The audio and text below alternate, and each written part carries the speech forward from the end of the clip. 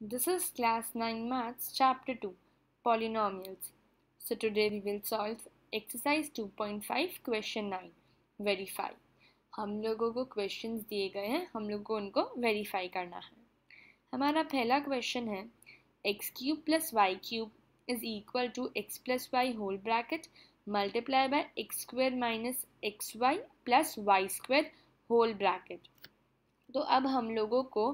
X plus Y whole bracket को multiply करना है X square minus X Y plus Y square से। और ये फाइंड आउट करना है कि इसका जो आंसर आता है वो X cube plus Y cube आता है कि नहीं आता है। ठीक है? तो अब हम इसको मल्टीप्लाई करेंगे।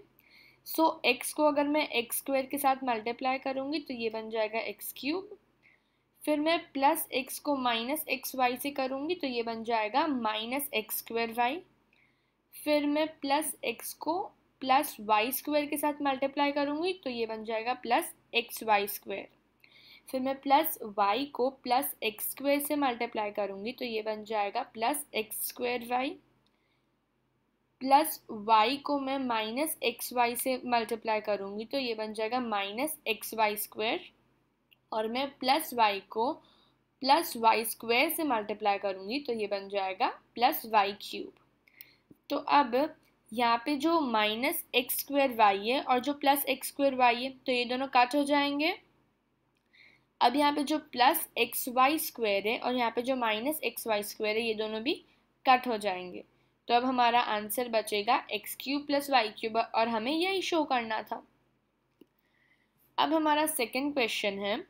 Cube minus Y cube is equal to X minus Y whole bracket multiply by X square plus X Y plus Y square whole bracket तो अब हम लोगों को X minus Y whole bracket को मल्टीप्लाई करना है X square plus X Y plus Y square से, और फिर हमें बताना है कि इसका जो आंसर है वो X cube minus Y cube है कि नहीं। तो अब जब हम लोग प्लस एक्स को प्लस एक्स स्क्वेयर के साथ मल्टीप्लाई करेंगे तो ये बन जाएगा प्लस एक्स क्यूब फिर प्लस एक्स को प्लस एक्स वाई से मल्टीप्लाई करेंगे तो ये बन जाएगा प्लस एक्स स्क्वेयर वाई